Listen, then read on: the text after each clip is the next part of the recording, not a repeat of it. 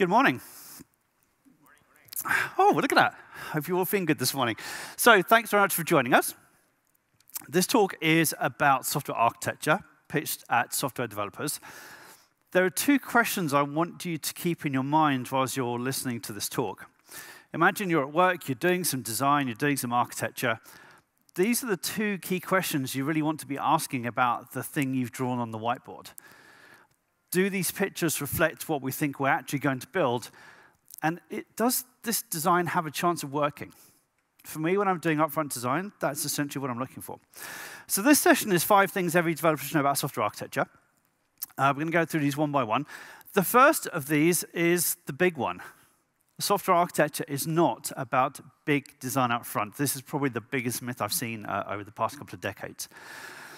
Historically, yes, there has been a tendency towards big upfront design. We all know where this has come from, right? The waterfall thing. The papers from the 70s, the heavyweight methods of the 80s and 90s do all these things in order. What's interesting is this image from the, the paper by Winston Royce. Further down the paper, he actually says this I believe in this concept, but it doesn't actually work. And if you kept reading a little bit further, he actually talks about things like iterative and agile development, as we know them today, of course. So this whole thing happened in the 70s, the 80s, and the 90s. So I graduated in 96, so I missed the kind of uh, 70s and 80s from a software development perspective. But even during my career in the mid to late 1990s, you could see that organizations were looking to move away from big, heavyweight waterfall approaches to something a bit more lightweight. And of course, this ends up with the Agile Manifesto in 2001. And the Agile Manifesto says this we we value responding to change over following a plan. And of course, on the face of it, this seems to turn everything on its head. And this is great. And I agree with this because big upfront design takes a long time, feedback loops are horrendously long. But by the time you've delivered something, people have changed their mind. So that's all good. That's what this is aimed at, of course. But the, the practicality of this, the real world implication of all of this, is that many organizations, many teams jumped from one extreme to the opposite extreme, and they literally went from big design up front to nothing. Which is kind of awkward. And there's a great quote I like to use here by a friend of mine. And he says this Big design up front is dumb, agreed, but doing no design up front is even dumber. And this is exactly what I've seen over the past 20 years. And people say, oh no, this is a straw man, you're joking. Teams don't do this. They do. I've literally had teams tell me to my face, we don't do design because we do extreme programming instead. I'm like, what? That makes no sense. How is this working out for you? And they said, bad, that's why you're here. right. We just start coding and we get into lots of technical debt very quickly yes, maybe you should start slowing down and thinking just a little bit more than you perhaps were. So, of course, the question here is how much upfront design should you be doing as a team?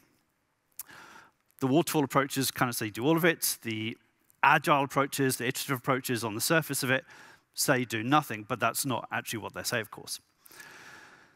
Sometimes you know what you're building, and sometimes you don't. So if you are a, if you're working in a big enterprise, you're doing like a system replacement project, a technology refresh project, you're building a, a, system to meet some new compliance or regulations like GDPR, those requirements are much more well known. You're much more confident in what you're designing. If you are building a product company, you're a startup, you've got some seed funding, you want to throw ideas out there, get feedback, pivot, that's a very, very different approach.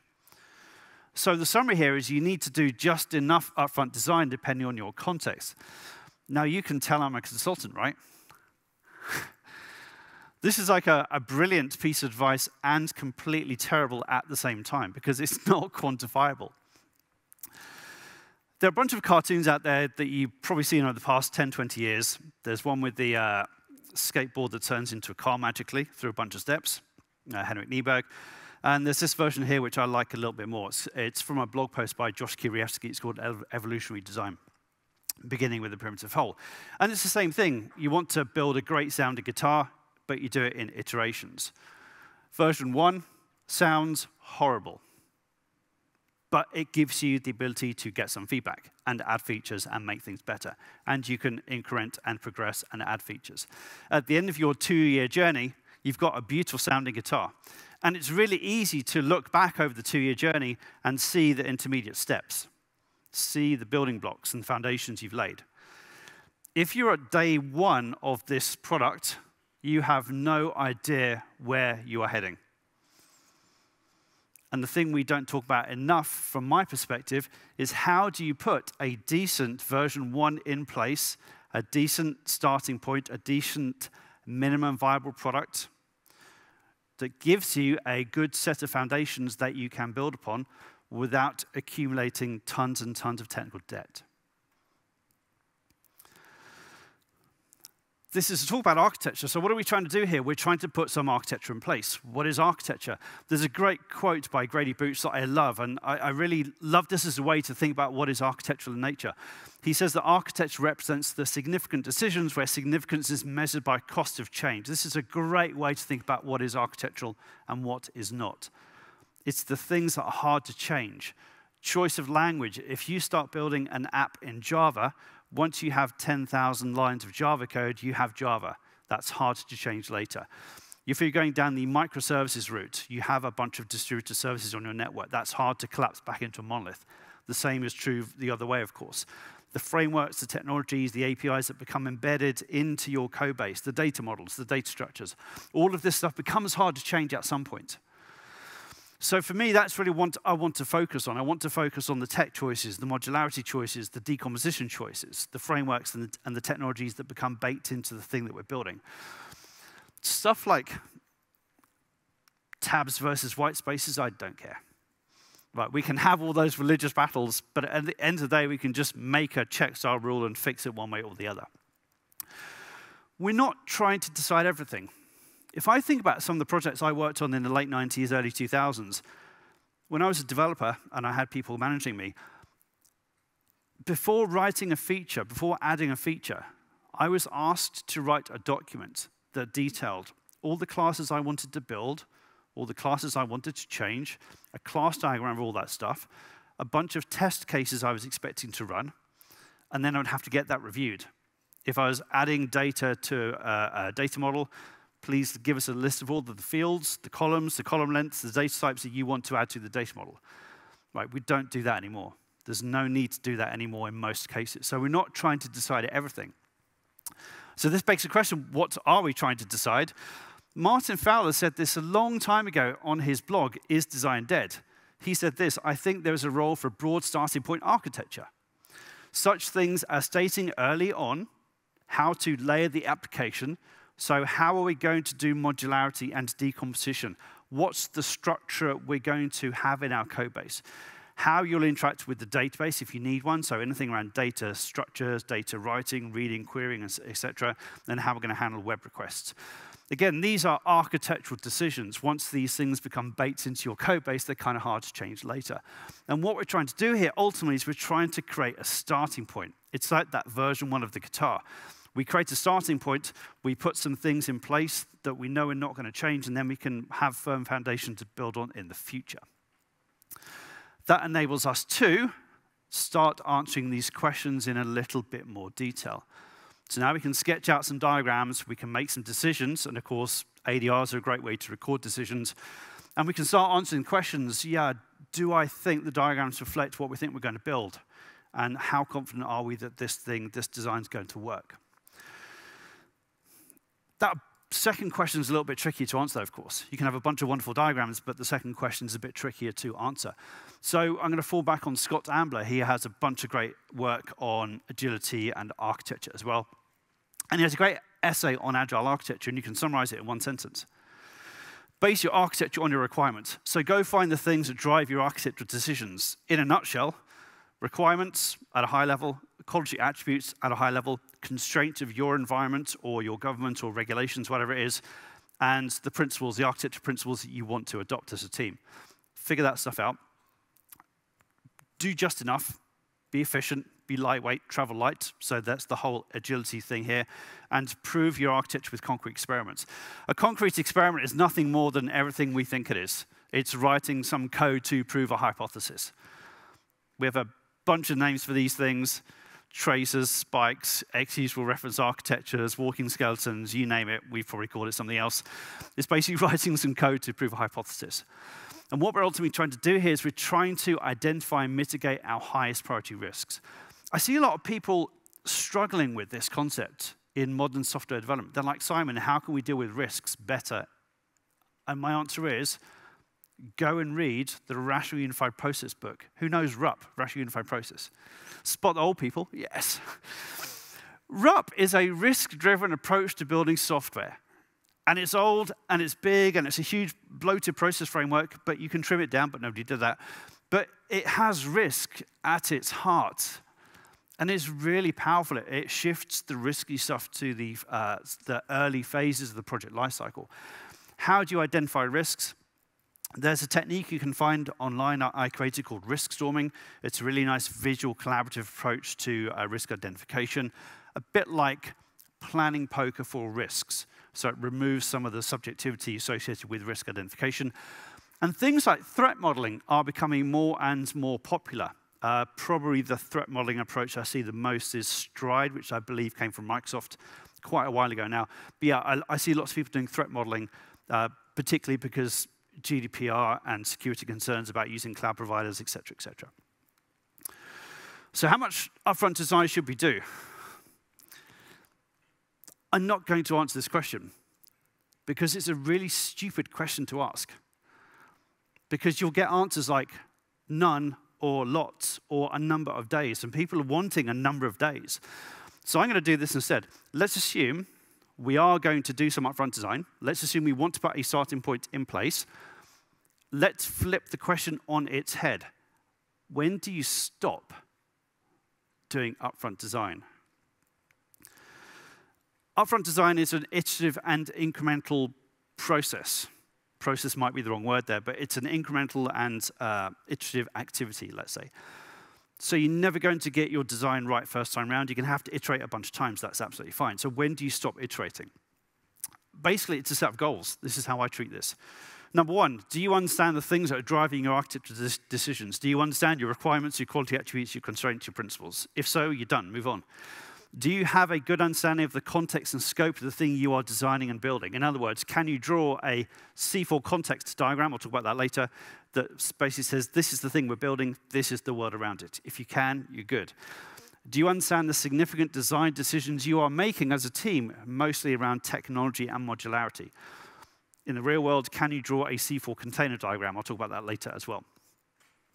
Do you have a way to communicate your vision with other people, diagrams? Are you confident that your design satisfies the key architectural drivers? Have you done architectural dry runs? Do you think it's going to work? And finally, have you identified the risks and are you confident that your solution is going to work? Have you done proof of concepts where necessary? If I can do this set of things, I'm happy I can now move on to you know, cranking out the code at a high pace. How do we do those things? That's our toolbox. There's a ton of stuff out there in the industry. Some of these are new things like event storming and impact mapping. And you'll notice there are some older, more classical techniques on this list as well. CRC, ATAM, TARA, some of the architecture evaluation techniques. This is our toolbox. There's a bunch of stuff out there. We just have to go discover it. So for me, upfront design is not about creating a perfect end state, a perfect set of blueprints. It's about creating a good enough starting point and setting a direction that the team are going to move in. That direction likely will change once we start getting feedback. As I said before, we're not going to get everything right first time round. We are going to have to backtrack, pivot, fix, clean up some technical debt. But hopefully, let's set a general decent starting point and a direction. So, this is my recommended, advocated approach. It's some degree of upfront design, but admitting that we're not going to get everything right and we are going to have to do some evolutionary design as we learn, as we get feedback, as the world changes. So that's point one. Software architecture is not about big upfront design, it's about putting a starting point in place and setting a direction. Number two, this is closely related, of course. Uh, it, essentially, this is about technical leadership. And every team needs technical leadership. One of the things I've heard a ton of teams over, over the past few years say is this Software teams don't need architects. This is normally said as a reaction to those horrible ivory tower architects that you might have seen 10 or 20 years ago. And teams don't want these types of characters on their project teams, so we don't need architects. I agree with these words. I don't agree with why they've been said. Why do I agree with these words? You don't need someone on the team with, who has a badge that labeled architect, but you do need technical leadership. And every team needs technical leadership. I think that's the more important takeaway here. And in many teams, there is no one called an architect. But of course, collaboratively, collectively, those individuals are providing some degree of technical leadership. What happens if you don't have this? Chaos. Messy code bases, spaghetti code systems, who's working on these? No, please don't answer. Uh, inconsistent approaches to solving the same problems, ignoring quality attributes like performance and scaling. This is what happens if we don't have a sufficient quantity of technical leadership on our teams. So this is why I talk about the software architecture role. And for me, the software architecture role is about injecting technical leadership into our software development teams.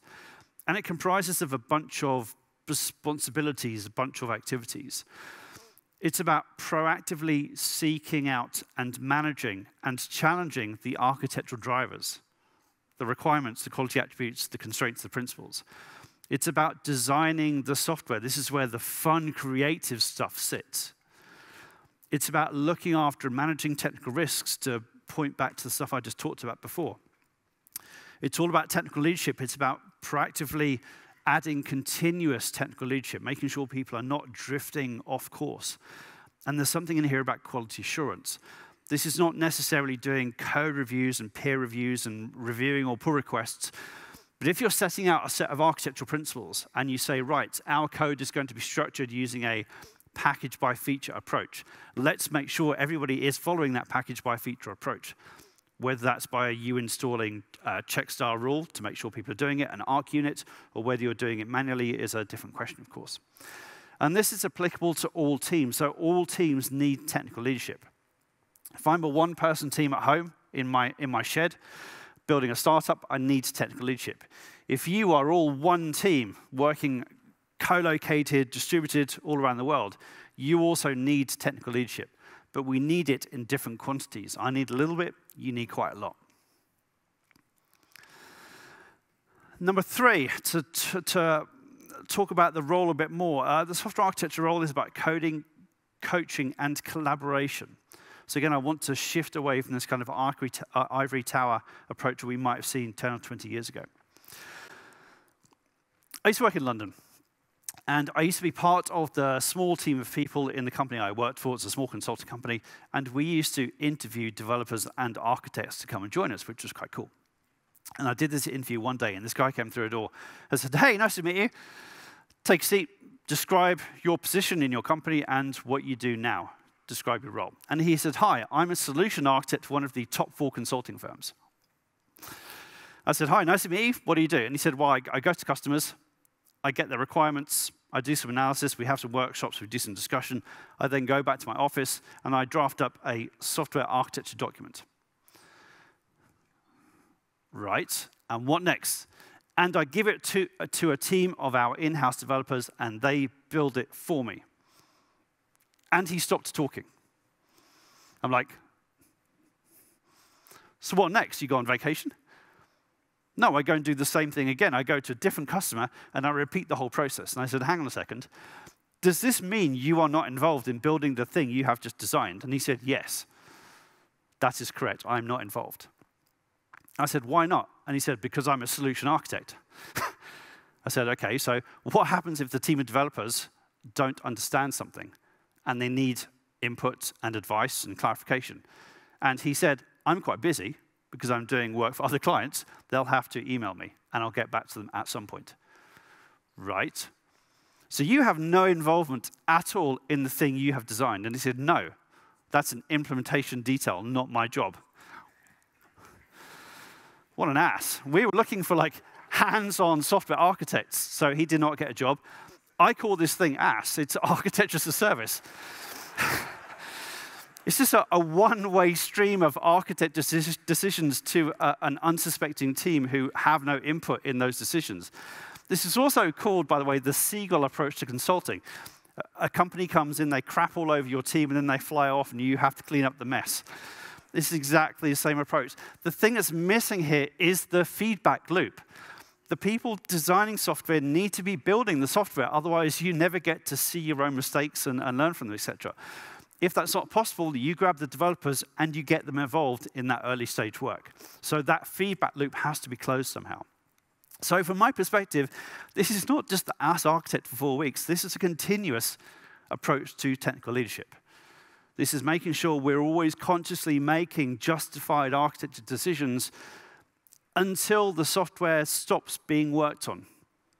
Anyone who uh, went to Kevlin's talk yesterday evening, that might be never. We call it maintenance, but that's still software development. He's right. How much leadership do we need? This is the key question. And it turns out every team is different. And I don't think we acknowledge this as much as we should. There's a great book on this topic. It's not, this book is not about software architecture, it's not about technical leadership, but it's about team leadership on technical teams. It's called Elastic Leadership by Roy Osherove.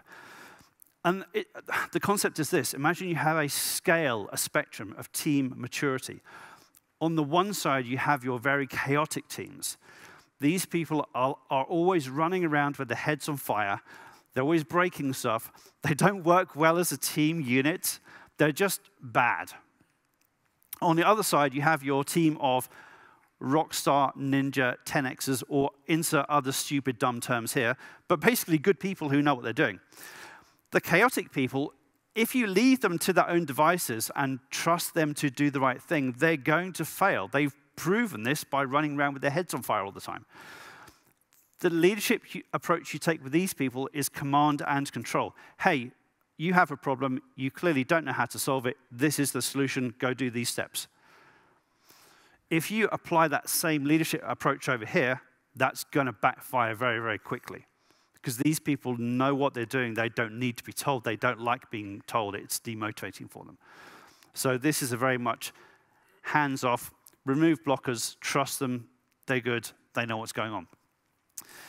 Even with these folks down here, you still need to give them a little bit of rope to hang themselves so they can learn from their mistakes and therefore become more mature.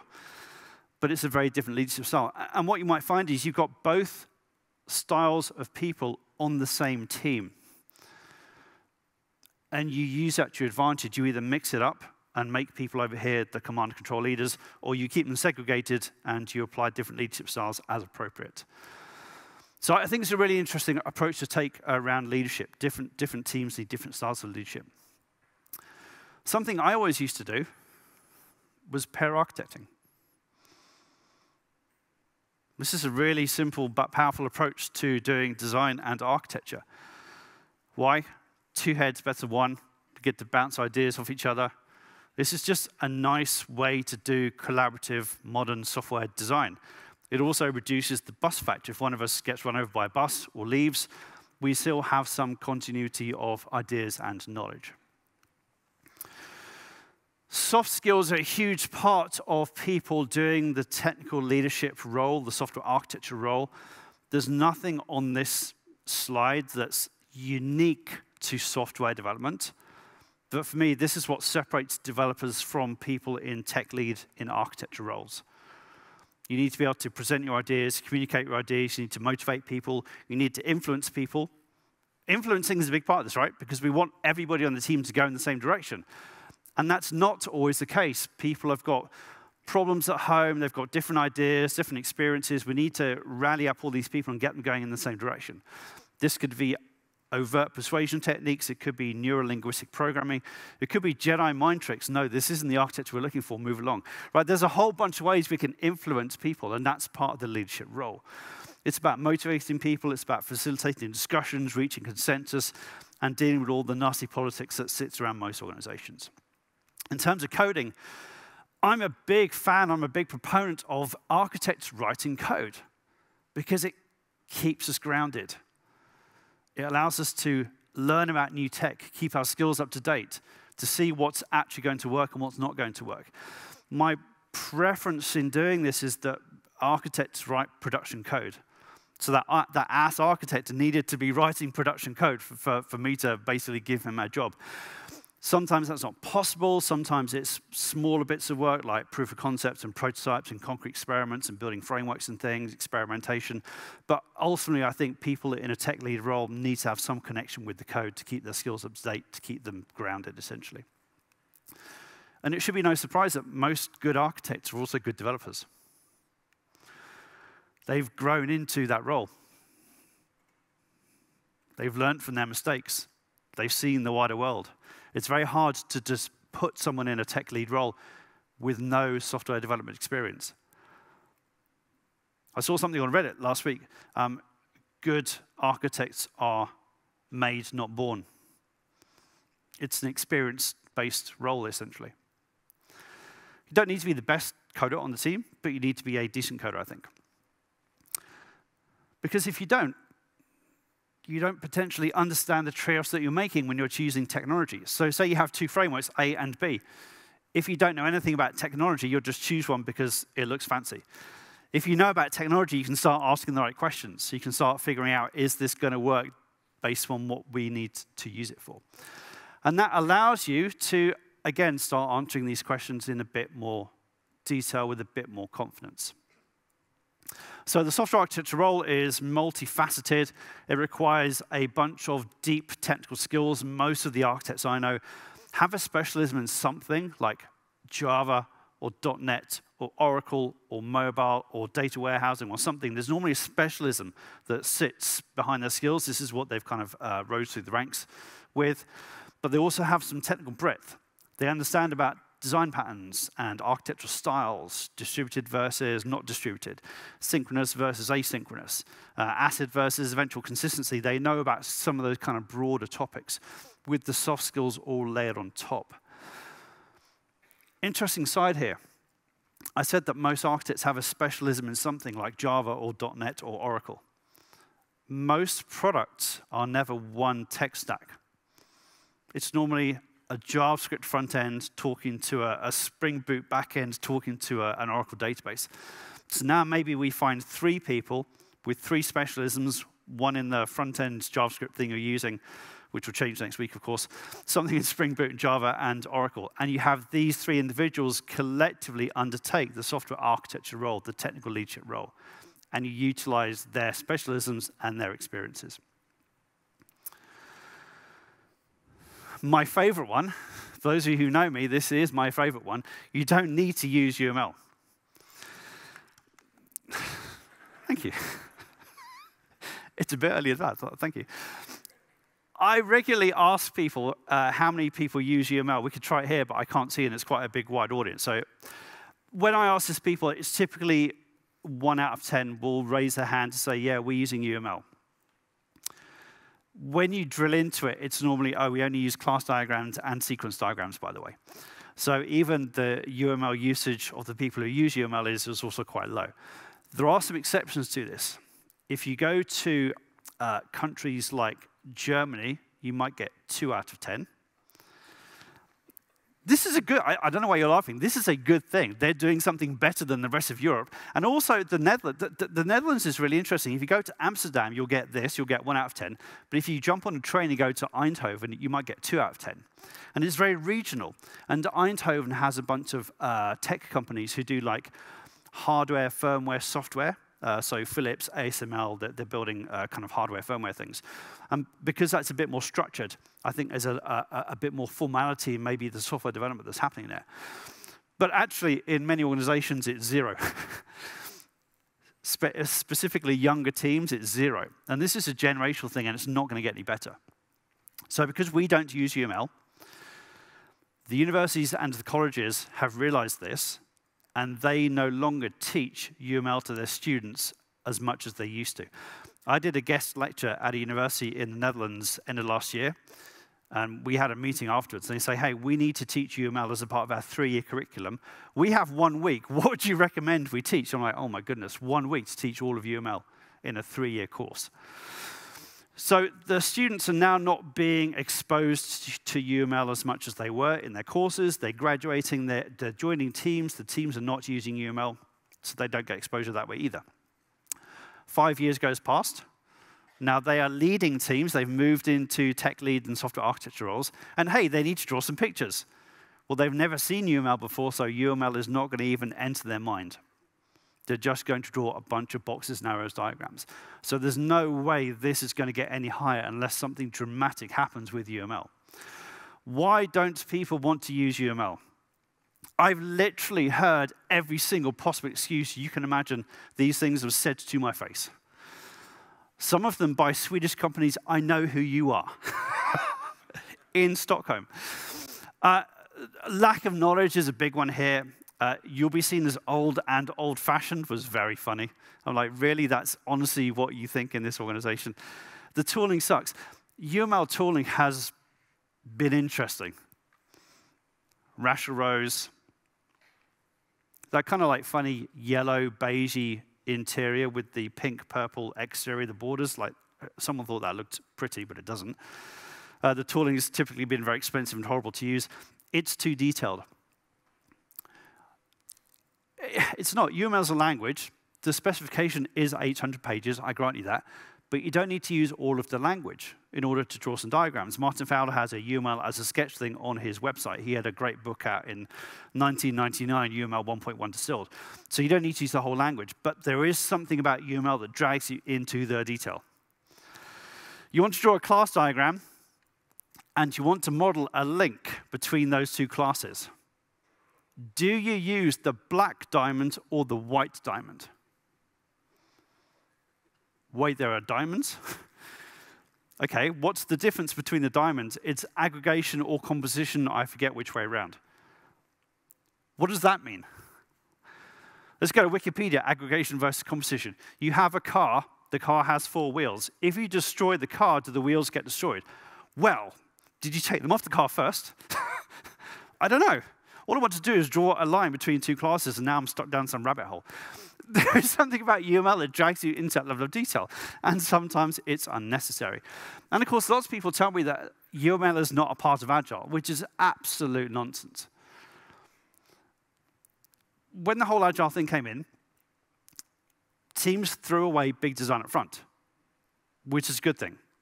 However, in many of those same teams, UML became coupled as a big upfront design technique and approach and therefore, when big design front was thrown away, UML was also thrown away with it. So it's one of those baby and bathwater moments, which is kind of unfortunate. Sure, some of you will know this guy. Had a YouTube channel for a while. I, I don't think he's running anymore. Uh, he had a, a, an episode that talks about UML, and this was his conclusion. It's a very elaborate waste of time. You should definitely find a video on YouTube. It's very funny. But it kind of begs the question of what's the answer here? And his answer in his video was this just use a whiteboard. Now, I've been running software architecture workshops around the world for about 15 years. And this is what we get people to do. We get people to do some design and draw some pictures on a whiteboard. So I've seen, I've seen firsthand what happens when you ask people to just use a whiteboard. Boxes and no lines, utterly horrible diagram. Yeah.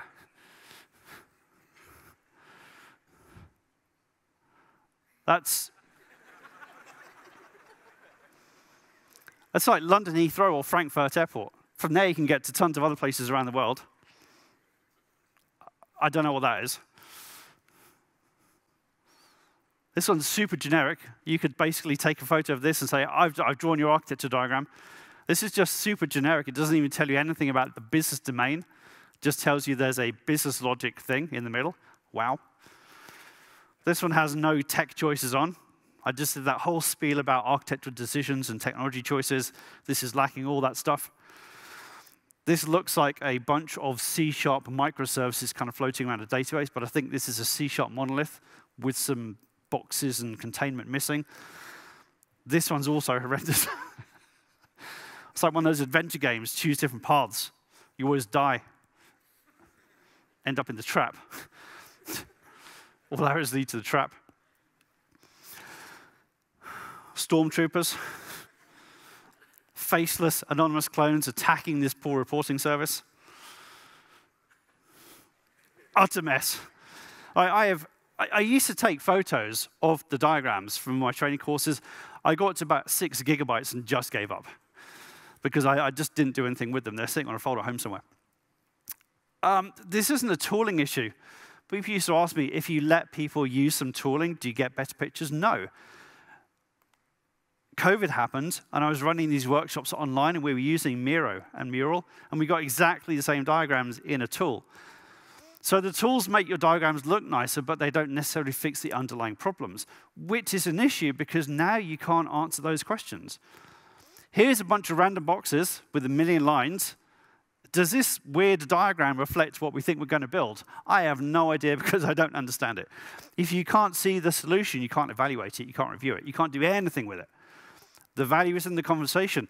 That only works if you're able to actually have the same conversation around the same diagram. And if it's ambiguous, you just can't do that. We need ubiquitous language. What's really funny, of course, is over the past like 10 years, we've been talking about domain-driven design a lot, creating a ubiquitous language that we can use as technologists to talk to non-technologists this is what our customer means within this bounded context. We have completely forgotten to create a ubiquitous language that we can use to discuss the internals of our software system.